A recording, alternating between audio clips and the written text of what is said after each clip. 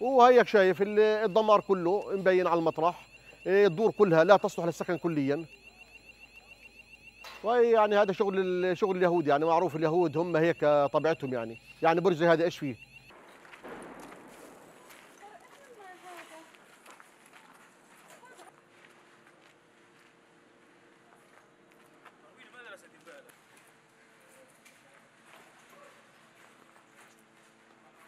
في هذا المسجد كنا في أمان الله عز وجل. صلينا العشاء بالأمس في ثم فجأة قصف هذا المسجد دون سابق انذار ودون إخبار أحد من الجيران روعوا الأطفال، روعوا الشيوخ، روعوا النساء كبار السن.